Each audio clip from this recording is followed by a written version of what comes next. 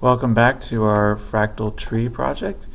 In this video we are going to draw the method for our tree. So we're going to go into fractal tree and below where we have our constructor we're going to create our method called draw tree. So we'll say private void draw tree. We're going to pass in an instance of our graphics panel, so G, and then int x1 for our initial x and y coordinates. So we're going to do int y1, and then we also need to be able to pass in as a parameter our angle. So we'll say double angle, and we need to keep track of what our depth is. So we'll say int depth.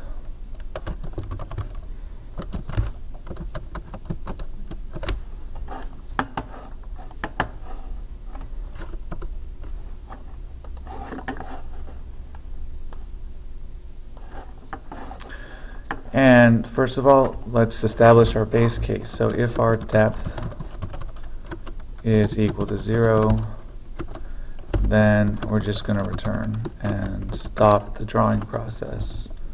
So this is our base case. And then we need to get the x coordinate for each branch. We're looking for the x and y um, that's on the out at the end of the branch. The initial x and y at the beginning of the branch we're passing into the method. So we're going to say int x2 is equal to x1 plus, and we want an integer so we'll do, and then we're going to use math dot cosine, and then math dot two radians, because we want to pass in our angle and be able to change that. And then we're going to times it by our depth, and um, by however our size of our branch. So in this case, we're going to do 10.0. Now you could also add another variable here so that each time through you change the size of the branch. And then we're going to need our, let's put a comment up here. So this is our x coordinate.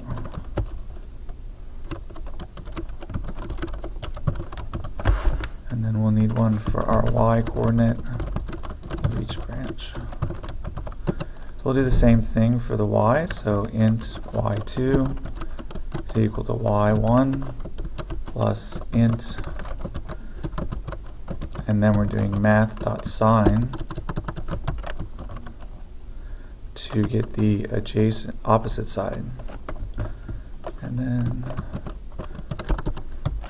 we want to type in math.2 radians and then the angle and multiply by our depth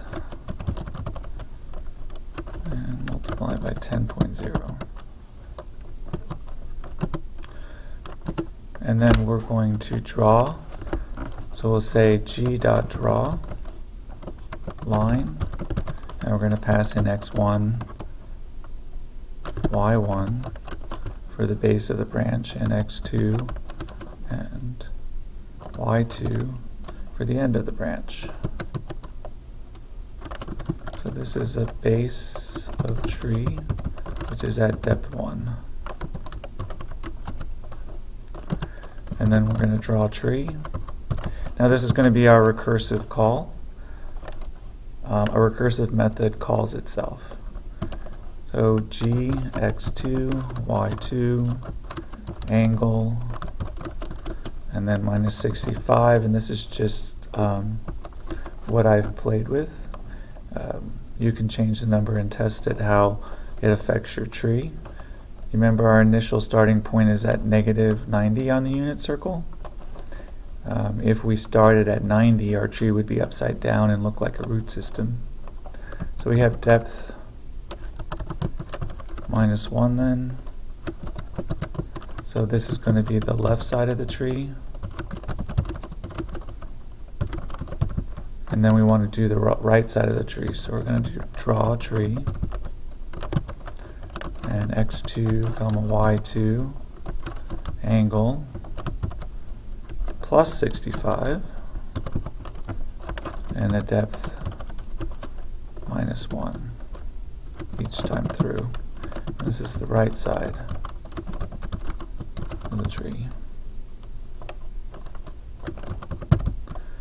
So if 90 is at top of the is at the top of the unit circle, in order to get the left side we want to subtract and if 90 is at the top again if we want to go to the right we're going to add 65 each time. And then we just need to draw another method for our graphics component.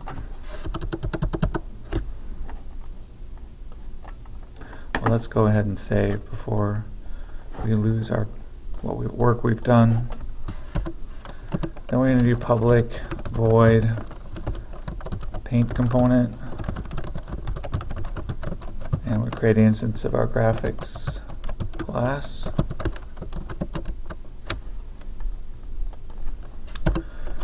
And then we're going to call super in order to get a method called paint component. And we're passing our instance of graphics. And then we can set the color of the tree. And I'm just going to do black. And if you have not imported um, you'll need to do that.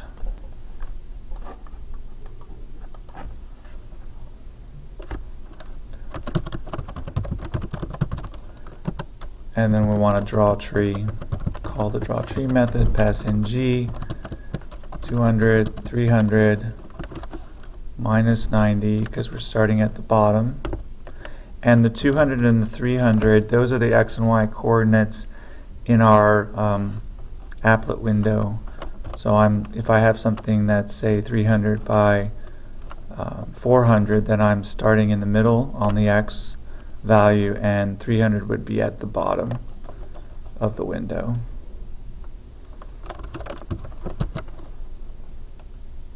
And then I'm doing a depth of 5. Alright, so let's go ahead and save. And then we'll compile.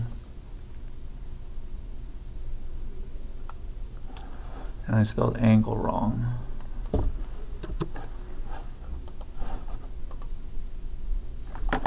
And then we'll go ahead and run it. Oops, it's not my runner. And here's my tree.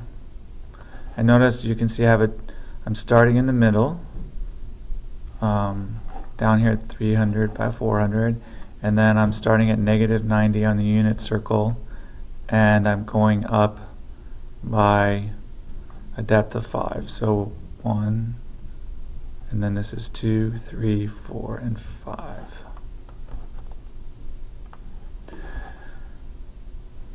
And then we can play around. So at this point then, what I ask you to do is to play with some of the variables. Mm -hmm. Here you can see that if you played with the angle of the tree, you might get this um, like wheat or chaff blowing in the wind. And if you play with the colors, um, this one changes the color at every depth and you could get something like this. Or you could make multiple, actually make multiple instances of a tree and make them of different depth and size to make a forest. Mm -hmm. And so your project for this one is to come up with uh, some use the tree base to come up with something that looks like um, something from nature. And um, that's it for this video and we'll see you next time. Or we'll do another fractal